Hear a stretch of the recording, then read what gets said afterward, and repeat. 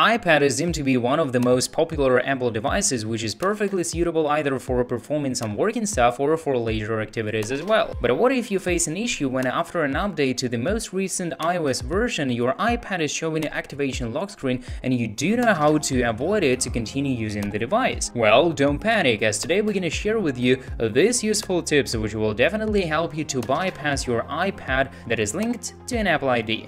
Let's get started!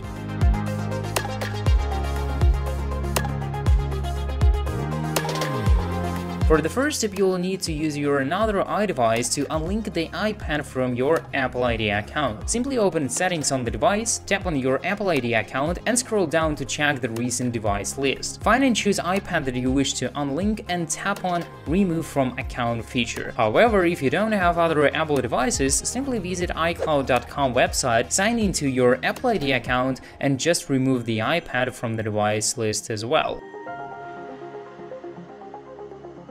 The second method seems to be much more efficient and less time consuming. To bypass Apple Activation lock screen on your iPad, download and run iMobi AnyUnlock utility on your PC or Mac, which you can install right via the link in the description down below. Connect your iPad to the computer and in the pop-up window of utility, choose Bypass iCloud Activation Lock option. Click on Start Now, then Start Jailbreak button, and finally on Bypass Now option.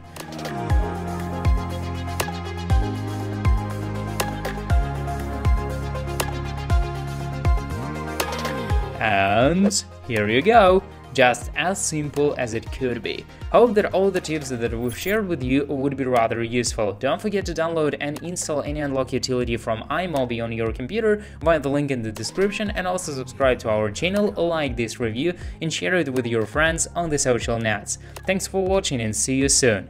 Peace.